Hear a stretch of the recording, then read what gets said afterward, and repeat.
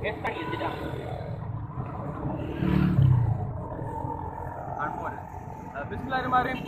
دوستو ہم ابھی وادوا پہ کھڑے پی ایس سکسٹی ٹو یہ ایک واک وے برج ہے لیکن یہاں سے بائکس بھی گزرتی ہیں افسوس سے تو یہ میں یہ دیکھیں کہ یہاں پوری برج ٹوٹی ہوئی ہے درار درار آئی ہوئی ہے تو یہ رسک ہے کہ کبھی بھی گر سکتی ہے تو آج صرف یہ میں اویئرنیس ویڈیو نہیں بناؤں گا بلکہ آج اس گریٹ کو ہم فل بھی کریں گے تو انشاءاللہ جو جو انتظامیہ ہے ان کو تھوڑی شرم دلانے کے لیے کہ عام شہری اپنے مسئلے خود حل کر رہے ہیں اور آپ جو ٹیکس منی ہے وہ کسی باہر ملک جا رہے ہیں ہمارے۔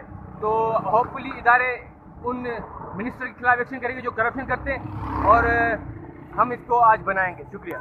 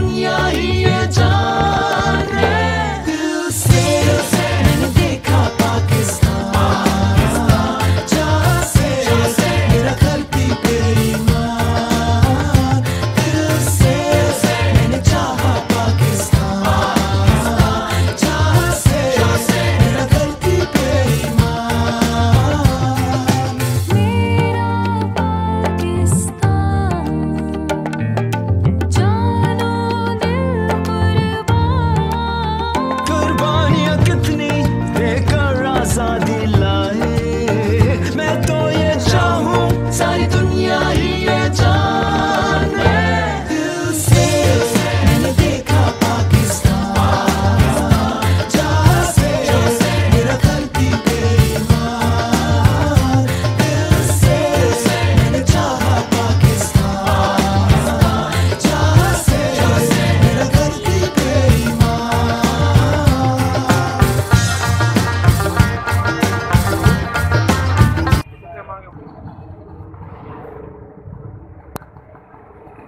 دوستو، یہ ہم نے فکس کر دیا ہے جو کریک سے بریک میں۔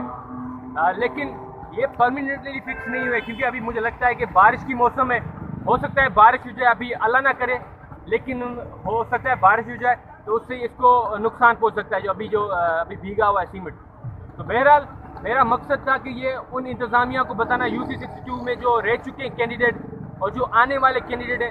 اور حیدرآباد کے جو منسٹرس ہیں ٹھیک ہے رسپانسبلٹی ہے یہ کام ان کو یہ کام کرنا چاہیے اور ان اداروں کو جو آج کل ایکٹیو ہیں، ان سے درخواست ہے کہ جو جو لوگ کرپشن کرتے ہیں، جو لوگ ان، یہاں کے پیسے باہر لے کے جاتے ہیں اور اپنے اکاؤنٹ سے اپنے جیب بھرتے ہیں، ان پہ ایکشن لیا جائے۔ کیونکہ ایک عام شہری چاہتا ہے کہ ان کے پیسے انہی پہ خرچوں۔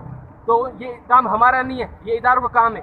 اور یہ کام بھی میرا نہیں ہے، یہ ان منسٹر کا کام ہے جو ہمارے پیسے کھا گئے تو برائے مہربانی